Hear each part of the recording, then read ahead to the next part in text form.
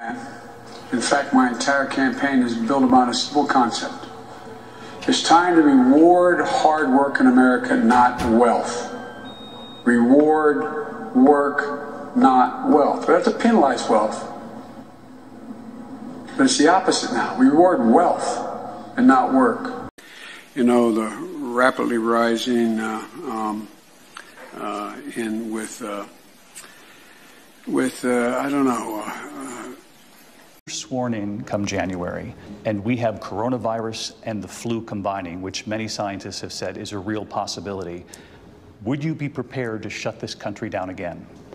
I would be prepared to do whatever it takes to save lives because we cannot get the country moving until we control the virus. That is the fundamental flaw of this administration's thinking to begin with. In order to keep the country running and moving and the economy growing and people employed, you have to fix the virus. You have to deal with the virus. So if the scientists say shut it down, I would shut it down. I would listen to the scientists.